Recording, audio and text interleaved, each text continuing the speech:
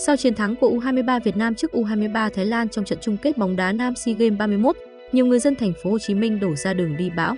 Tối 22 tháng 5 và dạng sáng 23 tháng 5, nhiều tuyến đường trung tâm kẹt cứng, đặc biệt là khu vực gần phố đi bộ Nguyễn Huệ, Tôn Đức Thắng, quận 1. Các tuyến đường khác ở quận nội thành cũng có nhiều đoàn xe đi theo từng nhóm nhỏ vừa đi vừa thổi kèn, bấm còi mừng chiến thắng. Sáng 23 tháng 5, Phòng Cảnh sát Giao thông Đường bộ PC08 Công an thành phố Hồ Chí Minh cho biết từ chiều 22 tháng 5 đã huy động 100% quân số cùng các lực lượng trong và ngoài ngành đảm bảo trật tự an toàn giao thông để người dân mừng chiến thắng của U23 Việt Nam. Đồng thời, cảnh sát giao thông cũng kiên quyết xử lý các trường hợp lợi dụng để gây rối trật tự, vi phạm giao thông.